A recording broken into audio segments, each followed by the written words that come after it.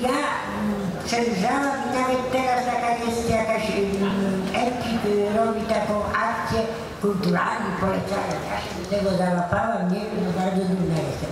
Ale między innymi poleciłam właśnie wczoraj, to robiłam w nocy, między innymi tak, to jest y, zbiór reportaży y, pana, też nie pomyliła jego nazwiska, nazywa się Tańczące Niedźwiedzie. To jest słuchajcie w trzech słowach. Witolda Szabłowskiego. O tak, i to jest właśnie zwłaszcza to tytułowe pierwsze opowiadanie, bo a propos wolności, naprawdę tracę, znaczy nie trzymam często tematu, ale to a propos tego mówię.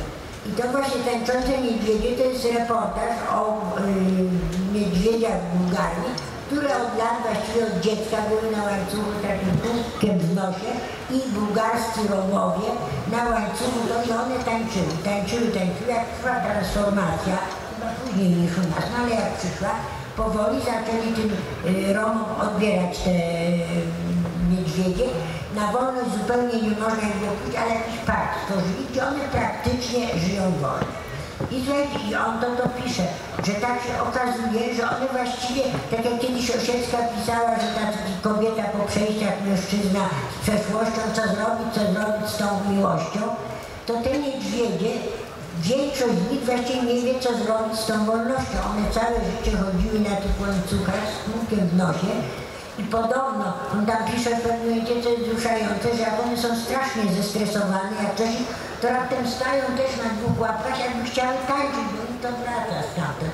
Więc y, czy, my dobrze robimy, znaczy, czy, jakoś wykorzystujemy te wolność? Mi się wydaje, że tak jak wszystkiego, wolności też trzeba się troszkę nauczyć. I niedawno, ja nie jeżdżę w ogóle po świecie, mój mąż jako muzyk kiedyś dużo jeździł niedawno odwiedził nas taki Polak, ale który od 45 lat mieszka w Stanach i pierwszy raz był w Polsce.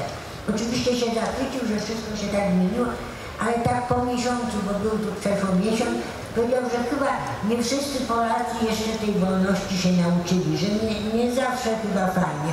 Wydaje mi się, że czasem troszkę się przesadza, że, ponieważ wszystko wolno. Ja nie mówię o tych wpisach, bo mnie to akurat są śmieszne, chociaż niektóre potrafią ludziom naprawdę krzywdę zrobić i niepotrzebnie to się dzieje. Natomiast wydaje mi się, że właśnie od razu protestują, zaraz do drzewa się przywiążą, zaraz będą chodzić po tych, no bo kiedyś nie można było, a teraz wolno, tak?